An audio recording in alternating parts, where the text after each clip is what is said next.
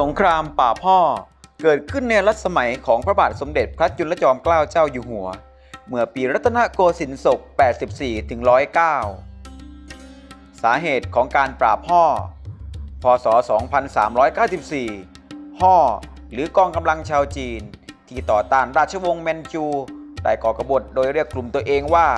กบฏไทผิง เพื่อปลดปล่อยตนเองออกจากการปกครองของราชวงศ์แมนจู ที่เป็นใหญ่ยึดครองประเทศจีนอยู่ในขณะนั้น จนเกิดการรบพุ่งกันเป็นการใหญ่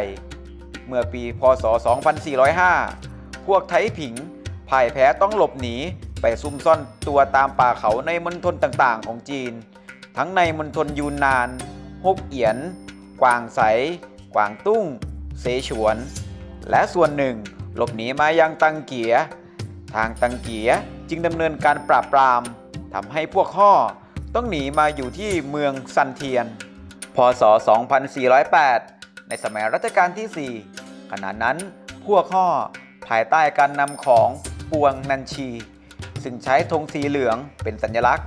แต่ส่องสุมกำลังที่ทุ่งไหหิน และได้ประพฤติตนเป็นโจรเที่ยวปล้นบ้านเมืองในดินแดน 12จุไทย และเมืองพวน ซึ่งขณะนั้นถือเป็นอาณาเขตของฝ่ายไทย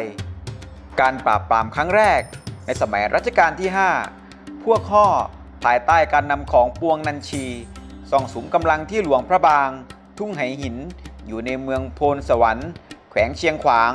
ทางทิศตะวันออกเฉียงเหนือของลาว เป็นกลุ่มโจรปล้นบ้านเมืองในดินแดน 12 จูไทย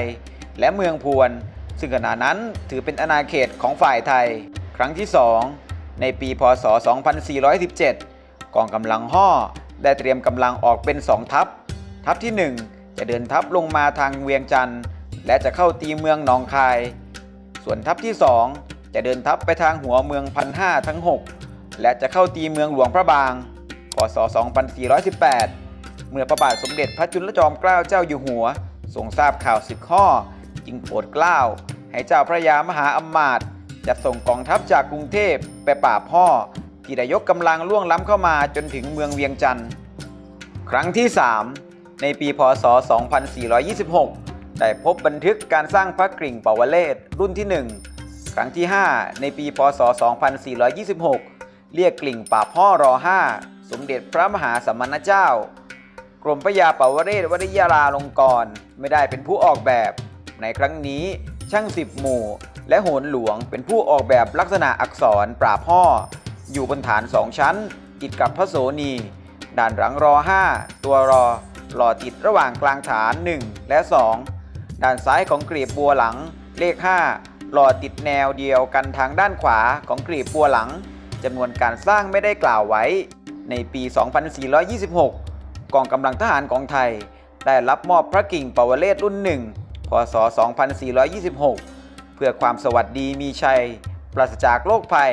และกำจัดปัดเป่าอัปมงคล อันตรายภัยพิบัติต่างๆ ให้กับกองทหารไทย ที่ไปทำศึกสงครามป่าพ่อพศ 2426 พวกข้อยกมารุกรานเมืองหลวงพระบางอีก โปรดให้พระยาพิชัย พระยาสุโขทัยคุมกำลังไปช่วยก่อน แล้วให้พระยาราชวารานุกูล เป็นแม่ทัพยกตามไป พ่อได้ข่าวก็ถอยหนีไปปักหลักสู้ที่ค่ายทุ่งเชียงคำซึ่งมีแนวกอไผ่แน่นหนาเป็นป้อมปราการ ฝ่ายไทยตามไปก็ยิงปืนใหญ่เข้าใส่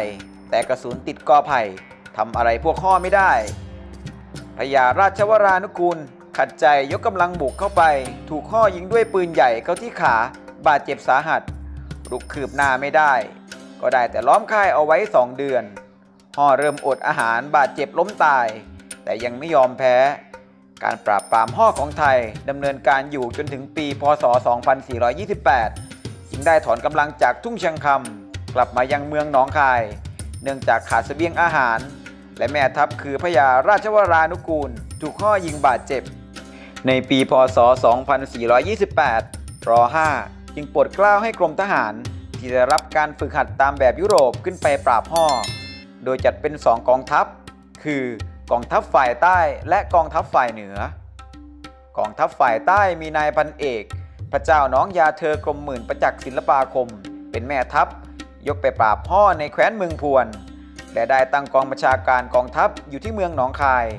แล้วให้พระอมรวิสัยสรเดชยกทัพหน้าไปตีค่ายห่อที่ทุ่งเชียงคำพวกห่อได้หนีไปในเขตยวน กองทัพไทยจึงรื้อค่ายห่อที่ทุ่งเชียงคำเสีย กองทัพฝ่ายเหนือ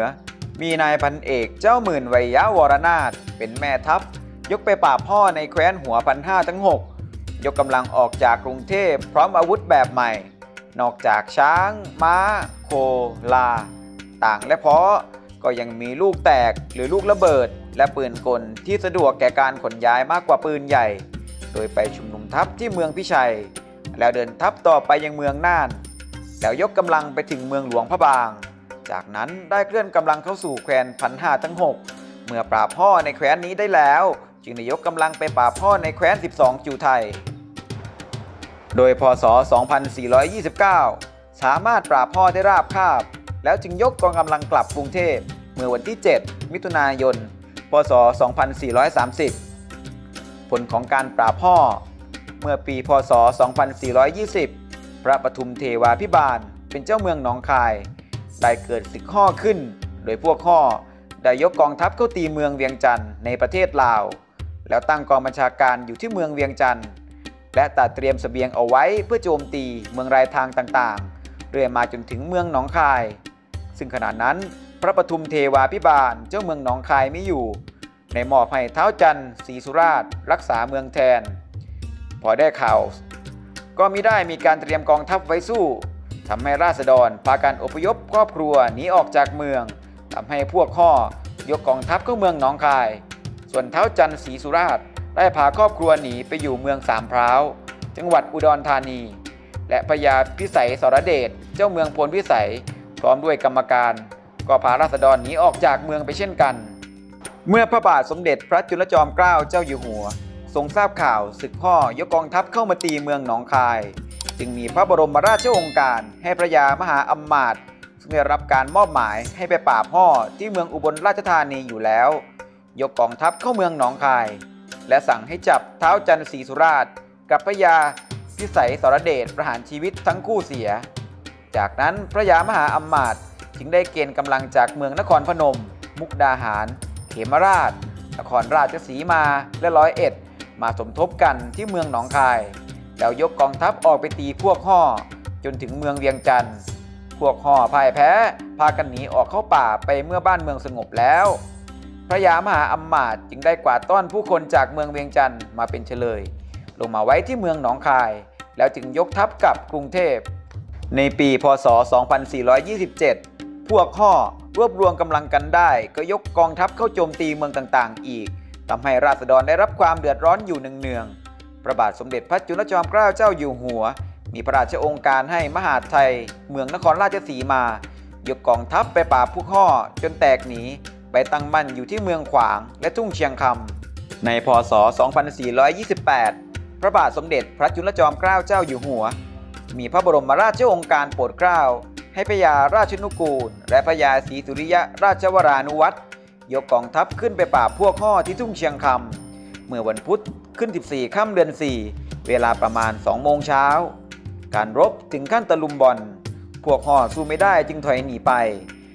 พญาราชนุกูล ถูกลูกปืนของข้าศึก แข้งแตกเดินไม่ได้ในเวลา4โมงเย็น พวกห่อรวบรวมกำลังกัน ยกกองทัพมาตี เพื่อยึดค่ายคืน แต่ไม่สำเร็จกองทัพไทยยกเข้าไปล้อมพวกห่อไว้นาน 7 วัน พวกห่อจึงขอเจรจาสงบศึก โดยขอให้ไทย ยกกองทัพกลับ และจะยอมมอบสิ่งของในค่ายห่อให้ครึ่งหนึ่ง แต่กองทัพไทยไม่ยอม เพราะไม่ไว้ใจพวกห่อ พื่อให้การปราบพ่อเป็นไปอย่างรวดเร็วเด็ดขาด จึงส่งพระกรุณาโปรดเกล้า ให้กรมหลวงประจักษ์ศิลปาคมกลุ่มกองทัพขึ้นไปสมทบ กรมหลวงประจักษ์ศิลปาคมจึงดำรัสให้พระอมรวิสัยสรเดชหม่อมราชวงศ์วรุณ พระยาสุริยเดชพระราชวรริน